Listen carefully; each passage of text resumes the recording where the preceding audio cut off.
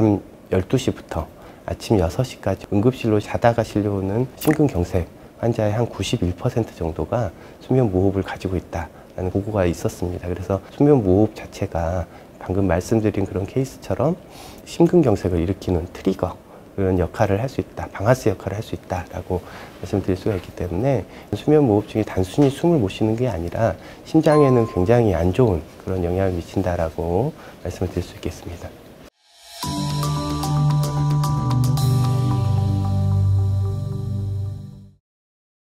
글쎄요. 보통 자면서 나타나는 일이기 때문에 대부분 기억을 못하고 수면 무호흡증이 굉장히 심해요 라고 환자분들한테 검사를 한 후에 얘기를 해줘도 제가 진짜로 그래요? 라고 되묻는 경우도 꽤 많습니다. 그래서 그만큼 수면 무호흡증이 있어도 잘 모르는 경우가 많은데 뭐 예를 들어서 옆에서 같이 자는 수면 파트너가 숨을 안 쉰다고 불안해서 깨워야 되는 정도 면 굉장히 심할 가능성이 있고요.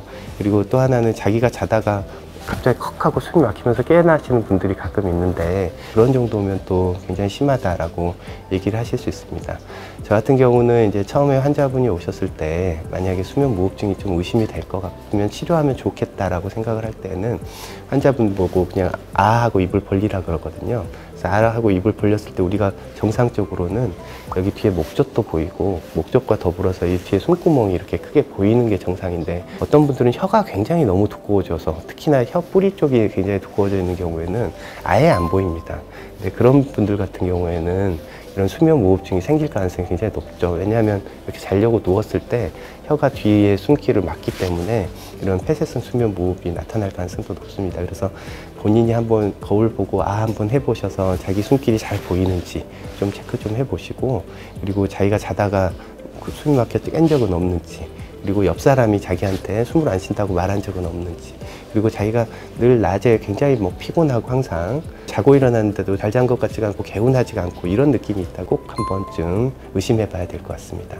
배 환자 중에 새벽 3시에 갑자기 자던 도중에 갑자기 흉통이 생겨서 병원에 왔던 케이스인데 병원에 와서 찍었던 심전도상에서 심근경색 심전도를 보이고 있었습니다. 그래서 치료를 하려고 들어가려고 준비하던 와중에 갑자기 심장마비가 와가지고 저희가 이제 심폐 소생술을 하면서 치료를 했던 케이스가 있었는데 아니나 다를까 심장을 먹여 살리는 관상동맥 중에 하나가 완전히 막혀 있었던 그런 환자였고요.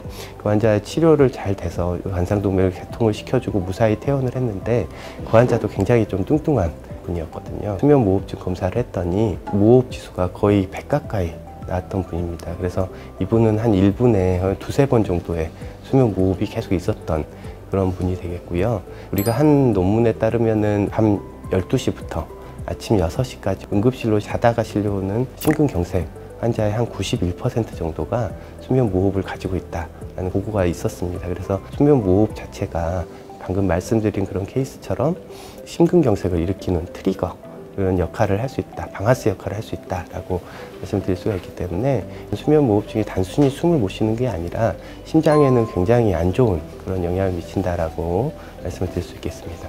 수면 무호흡증의 치료는 어, 폐쇄성 수면무호흡증과 중추성 수면무호흡증이 조금 다르다라고 말씀드릴 수가 있겠는데요.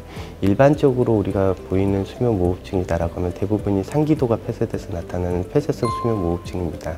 이때는 가장 좋은 치료는 지속성 양압기 치료입니다. 양압기를 우리가 마스크처럼 이렇게 쓰고 이렇게 양압기에 연결을 시켜주면 압력이 은근히 들어오게 됩니다. 양압을 주는 거거든요. 양압을 주게 되면 우리가 뒤에 있는 숨길이 이렇게 좁아지질 않고 넓어져 있 게끔 유지를 시켜주기 때문에 우리가 숨길이 쉽게 이렇게 막히질 않고 숨을 잘 쉴 수 있는 그런 치료를 하게 되는데요.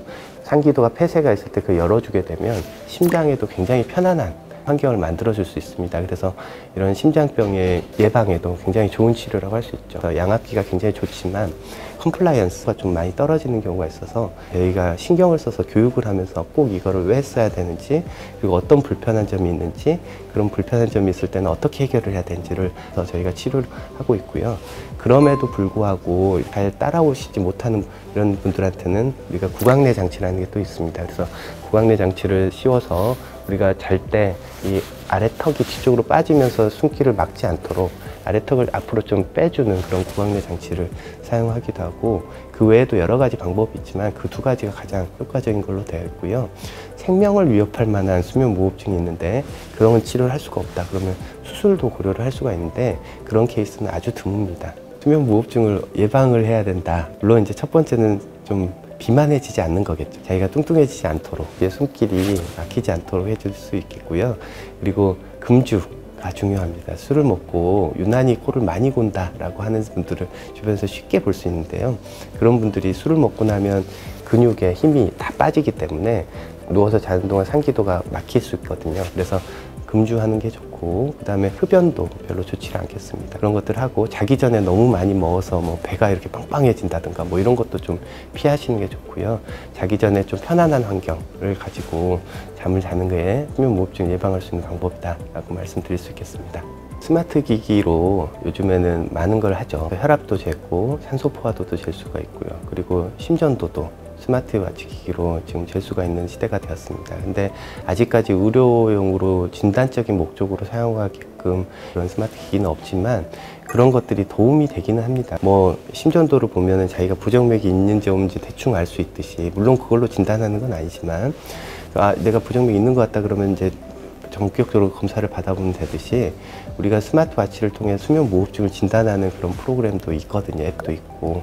그래서 그걸 맹신하면 안 되지만 그걸로 일단 한 번쯤은 해보시는 것도 좋을 것 같습니다. 수면 무호흡증이 있을 가능성이 높다라고 나왔을 때는 그 본격적으로 확실하게 진단을 받아야 하기 때문에 그럴 때는 수면 다원 검사라는 걸 하시면 됩니다. 병원에 한 7시, 9시쯤 오셔가지고 뇌파, 뭐 호흡 하는 거 그리고 심전도 그리고 산소 포화도 뭐 이런 것들을 그 체크를 하면서 하룻밤 주무시고 가시는 건데 입원하는 건 아니고요. 하룻밤 그렇게 장치를 하고 주무시고 가시고 아침에 일찍 가시면 모든 것들이 다 진단이 될 수가 있겠습니다. 그래서 아까 말씀드린 대로 이런 수면 무호흡증이 있는지 없는지부터 시작해서 만약에 수면 무호흡증이 있다라면 폐쇄성인지 아니면 중추성 수면 무호흡증인지를 우리가 감별을 할 수가 있겠고요.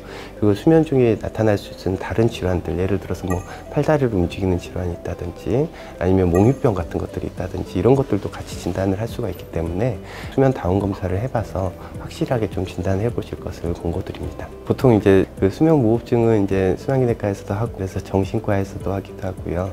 이비인후과에서 하기도 하고 호흡기 내과에서 하기도 하고 여러 과에서 하니까 수면 무호흡증을 보시는 선생님이 누군지를 좀 알아보시고 한번 찾아가시면은 금방 하실 수 있을 겁니다.